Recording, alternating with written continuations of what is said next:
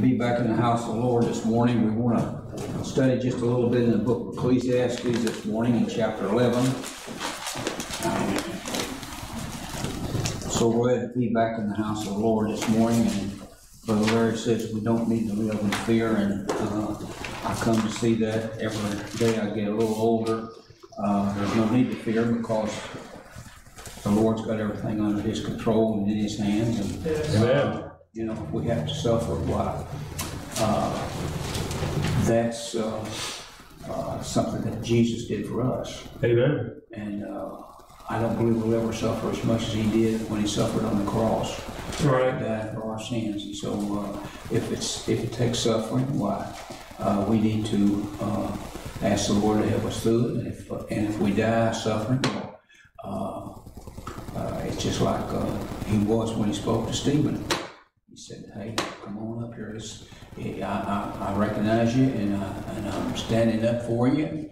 And so uh, we have we have nothing to fear but fear itself, and that's uh, that's a great thing this morning to not have no fear. Cast your bread upon the waters is our uh, first line of our chapter 11 this morning, and so many people I'm sure don't understand what the Lord is trying to say when they read these things. And there's a lot of it maybe that I don't understand, but I do understand enough of it to know that He's He's telling us things that we need to do. And uh, when He says cast the bread upon the waters, He don't mean to go down the Cumberland River and throw a biscuit.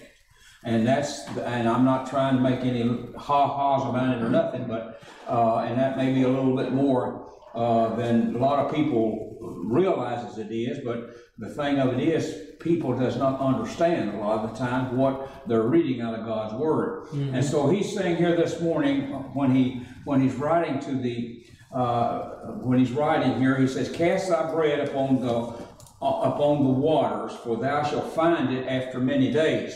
Now, this morning, we want to look at just a little bit this morning about casting and about what he's casting upon and who he's casting it upon. And we see this morning that he's saying, first of all, cast thy bread.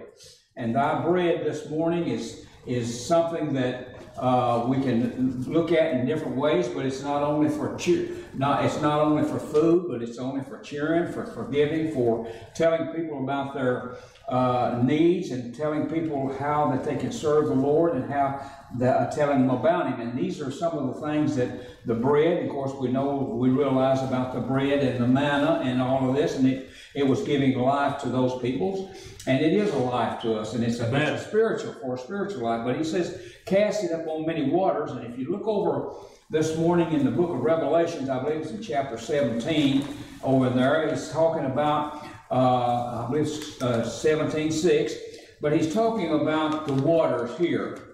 And he, he gives an example of the whore sitting on many waters. And of course, this this morning means that, that the old uh, Catholic Church, the, uh, the Antichrist uh, daughter, if you would, uh, is governing many people. And we know this morning that her teachings is, is, uh, is wrong. Her Amen. teachings are a, a, a deceiving thing for people, and they're going after it head over heels, and they're, they're depending upon the church, they're depending upon the Pope, they're depending upon so many things uh, that uh, to get them to, to heaven. And, and we, we see even that this morning that they have a, a place uh, in the middle of where the soul goes when it dies.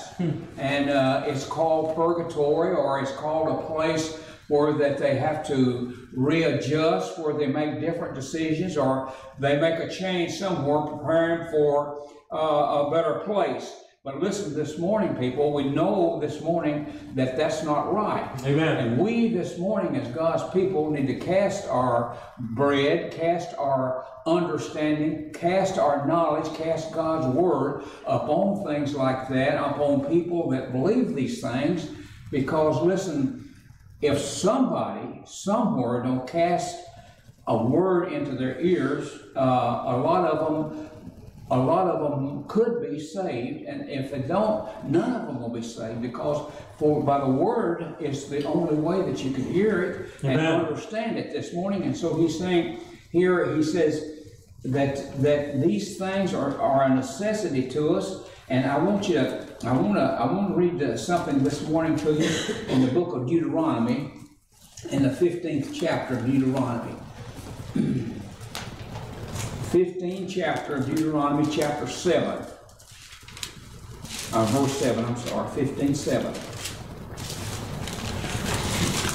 And it's talking about, it's talking about in, in, in some way, ways casting and giving. Uh, and, and this word of casting means to throw or to, like uh, they even spread seed casting. And he says in verse 7 of chapter 15 of the book of Deuteronomy, if there be among you a poor man of one of thy brethren, wherein any of these thy gates in thy land which the Lord thy God giveth thee, thou thou shalt not harden thy heart, nor shut thy hands from thy poor brother. Now think upon this, and he's calling him a brother, and uh, and and people people uh, can see this in one way of helping him uh, financially. But the thing of it is, so many of our poor brethren, and I'm saying this with a loving heart, so many of our poor brethren get to the point of discouragement. And listen, this morning, we as God's people need to cast a helping word to them this morning and to be a help to them, be an encouragement to them because uh, they need it just like uh, in past you needed it and I needed it. And listen, if you say you don't need it, then uh, you know that's wonderful if you didn't. But I guarantee you that everyone here, the devil has come to you. He's presented things to you. You've had troubles in your life, and you're saying, "Why, Lord?" and all of this. Listen, we need to understand that God knows all, and and these people here, he's saying here, if if you have a poor brethren, you should be in in uh, with a great desire, have a great desire to help that brother. Amen. And here he says in verse eight, but thou shalt open thy hand wide unto him, and shall surely lend him sufficient. And of course, we're talking about worldly things here, but listen, the same applies to spiritual things. And he says here, for his need in that which he wanteth. Beware there that there be not a thought in thy wicked heart, saying, The seven years and the year of release is at hand, and and thine eye be evil against thy poor brethren, and thou givest him naught, and and he crieth unto the Lord against thee, and it be and it be sin unto thee, thou sh- shalt surely give him, and thine heart shall not be grieved when thou givest he- unto him, because that for this thing the Lord thy God shall bless thee in all thy works, Amen. and in all that thou puttest thine hand upon. For the poor shall never cease out of the land. Right. Therefore I command thee, saying, Thou shalt open thy hand wide unto thy brother, to thy poor, and to thy needy in the land. And you know, he's saying here, the poor shall never cease.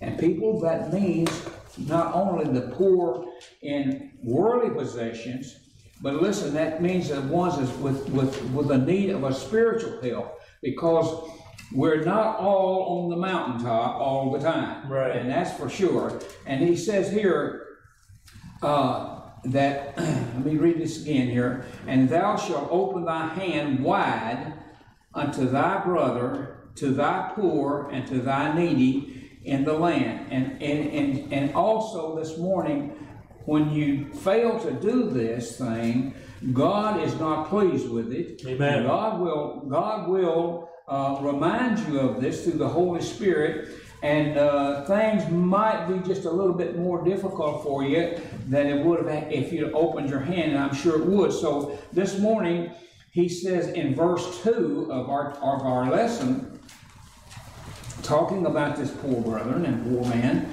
he says, Give a portion to seven, also to eight.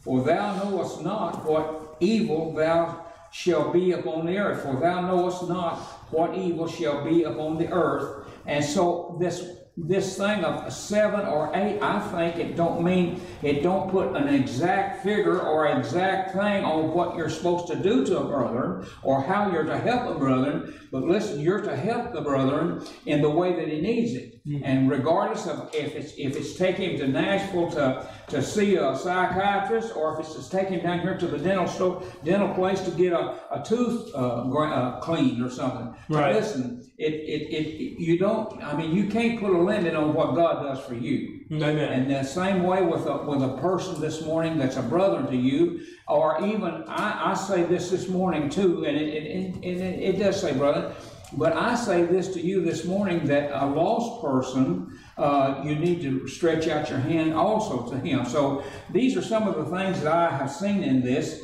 Uh, but he says here, uh, give a portion to seven and also to eight, for thou knowest not what evil shall, shall be upon the earth. And Colossians 4, I to read just a little bit to you this morning. Colossians 4 1.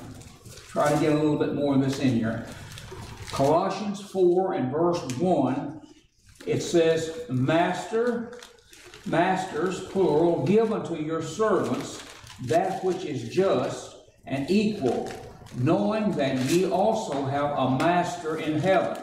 Amen. And so this morning, when we do something to someone, listen, we we realize that, that we're we're obeying the master, and then this way we are not afraid to say, Lord, would you please help me with this or would you please help me with that? Because listen, we've done what he says. Amen. And he's gonna he's gonna repay. So he says, continue in prayer in verse 2 and watch in the same with thanksgiving or uh, um, alertness or grateful hearts, with all praying also for us that God would open unto us a door of, and this is uh, the, Paul speaking, uh, a door of utterance to speak the mysteries of Christ, for which I am also in bonds. Amen. And here, here he's saying this this morning. Pray for us that we may have a door open that we can cast our bread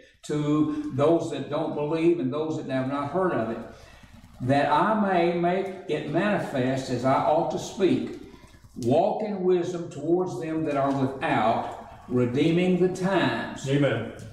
And let your speech be always with grace, seasoned with salt, hmm. that you may know how you ought to answer every man. Amen. And this morning, I, I, I understand this about seasoned with salt. Sometimes we try to encourage someone. Sometimes we try to help someone and they'll fly right back with an off the wall something or another. And listen, we just have to bite our tongue and say, no, that's not the way it should be. And I think this is one thing here. The, the, the uh, knowledge of God's word, if you'll just keep on talking to him with that, it's a type of seasoning with salt. So back in our lesson again this morning now, here he says here in verse 3, if the clouds be full of rain, they empty themselves upon the mm-hmm. earth. And listen, uh, it's it's not really. Uh, I, I, I, I, don't know how to really explain this, uh, except that uh, he's telling something that that actually happens, and that we uh, we should we should take notice to this when it does happen. So he says, if the clouds be full of rain, they empty themselves upon the earth. And if the tree falls towards the south or towards the north, in the place where the tree falleth, there it shall be. And so these are these are things this morning that we uh, we can take to uh, uh, and, and, try to understand a little bit about, uh, but don't. The so when the the casting of bread, when you cast in bread, don't let these things interfere with you.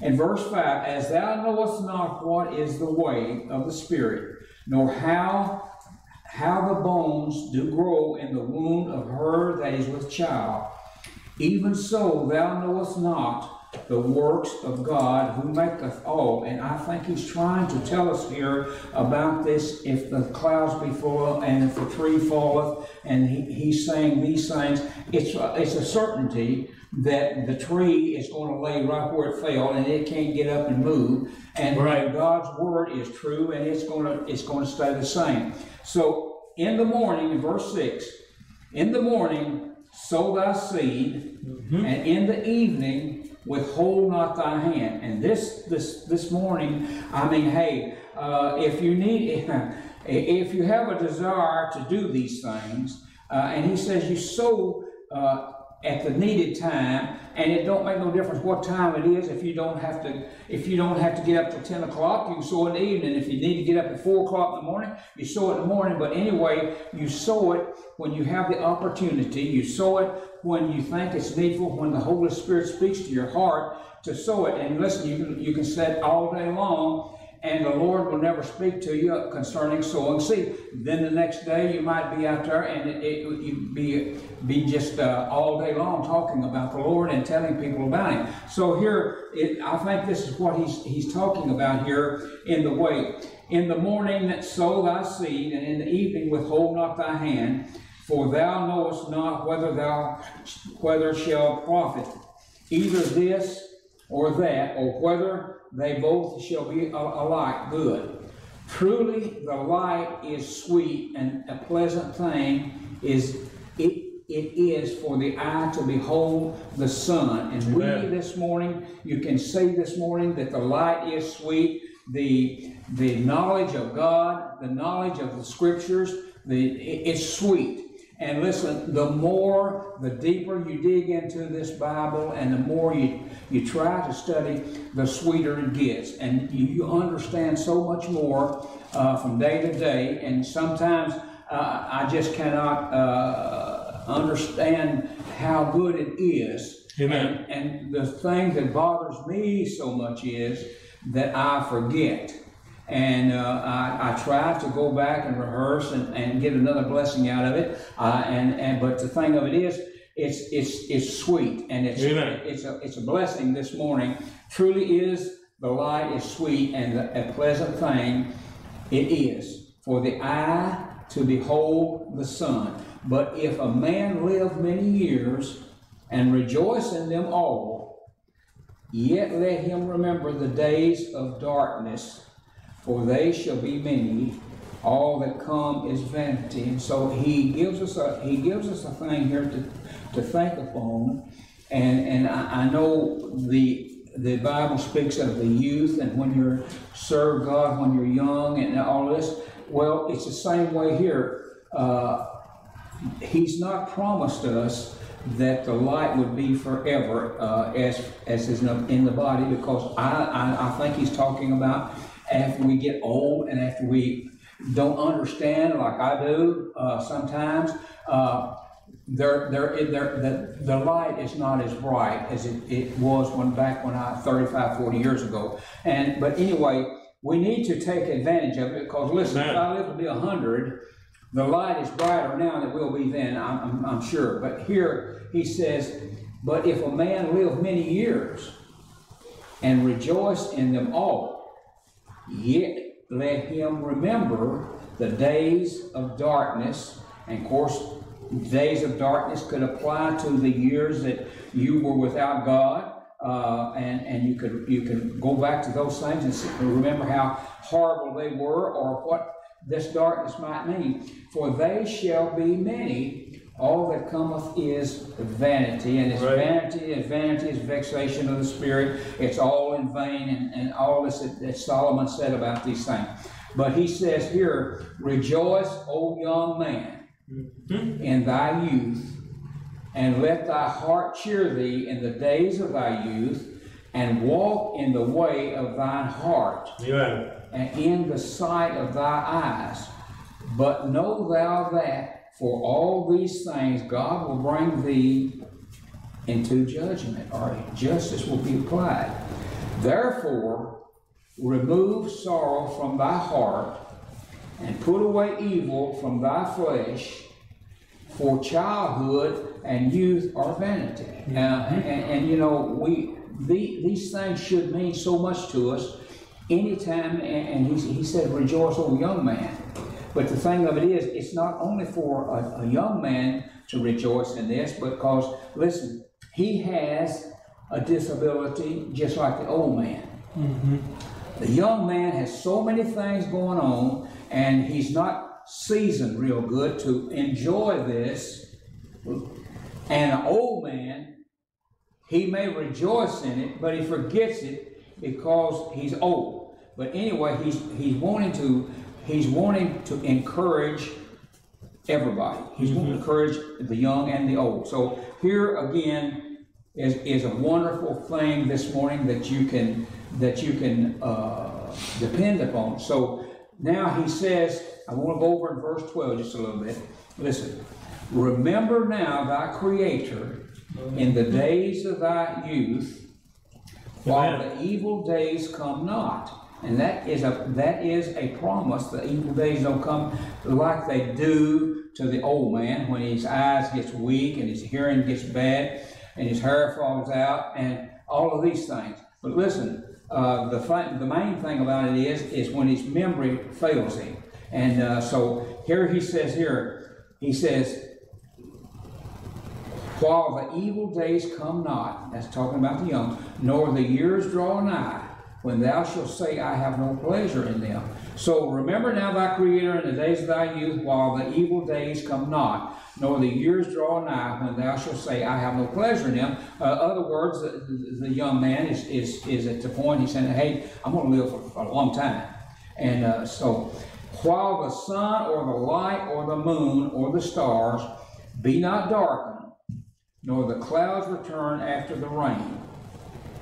In the day when the keeper of the house shall tremble, and the strong man shall bow themselves, and the grinders cease because they are few, and those that look out the window be darkened. And it's just it's it's just sitting it's just saying to the to the to us this morning, we're once young, and then we get old, and these are some of the faults the legs, the teeth, the eyes, the arms, and, and the eye, all this.